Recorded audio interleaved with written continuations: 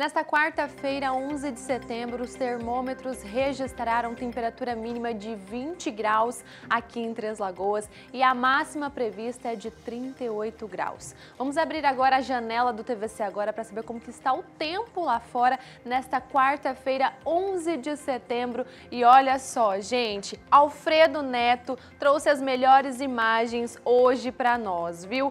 O céu já não está tão cinzento quanto nos últimos dias, né? E também ele trouxe essas imagens da nossa natureza, da, das flores caindo aqui no final de sete, no final de inverno, né, do mês de setembro. Então a gente está aproveitando para mostrar essas imagens para você. Você que está aqui em Três Lagoas, está chegando na nossa cidade.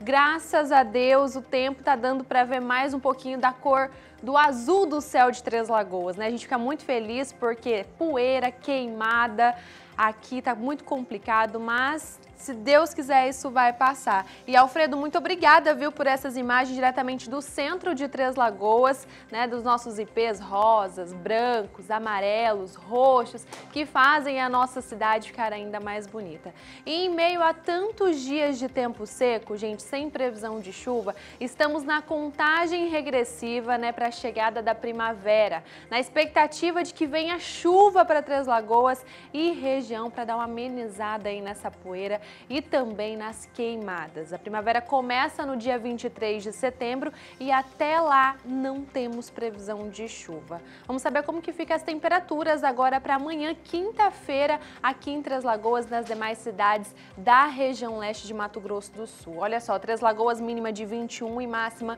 de 39 graus. Braslândia mínima de 21 e máxima de 39 também. Água Clara mínima por lá é 21 e a máxima 40 graus. Em Aparecida do Tabuado, vamos conferir, hora mínima de 21 e máxima de 38, Paranaíba, mínima de 21 e máxima de 39 graus, Inocência, mínima de 21 e máxima de 39 graus também.